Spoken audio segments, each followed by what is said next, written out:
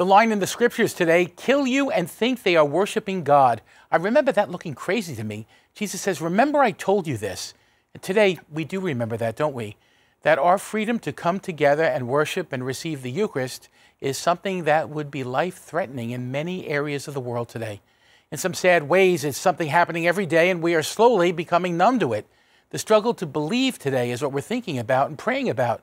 The first reading talks about a woman named Lydia, a dealer in purple cloth, a worshiper of God who listened, and the Lord opened her heart, it says, to pay attention to what Paul was saying. Lydia's story is a story of coming to faith and not being concerned about her business or any repercussions. All she could do was believe and be baptized and bring her family to that baptism as well. Well, that's where we can be a huge sign. To we who have the freedom to worship, a challenge is given today to live our faith vibrantly, if you will, in purple cloth, to be a sign to the world of faith, a world where Christianity is often oppressed every day, and sometimes not so obviously, but as Pope Francis has said in our country, a more friendly persecution. All the more that we must be a beacon of faith by how we live and profess our faith.